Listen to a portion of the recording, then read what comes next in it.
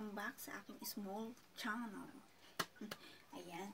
For today's video guys, ayan, mag-i-unboxing lang po tayo ng mga papadala natin sa Pilipinas. Ayan. Konting ano lang, konting naipon lang.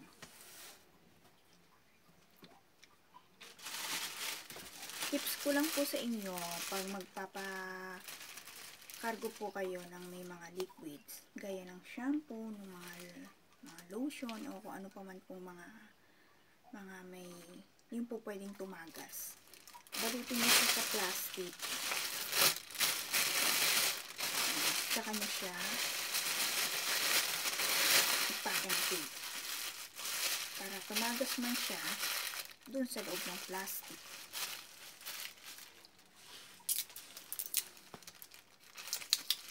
Ganyan.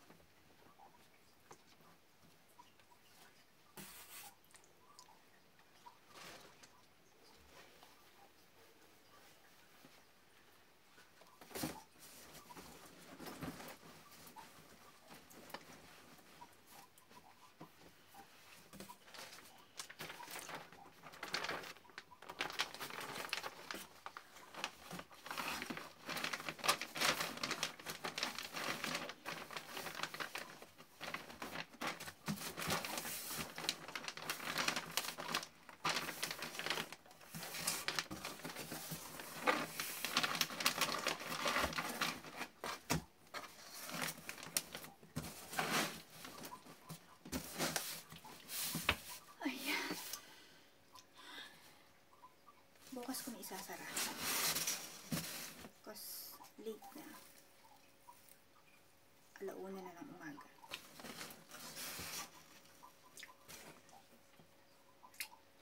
Bye guys. Take care. God bless you.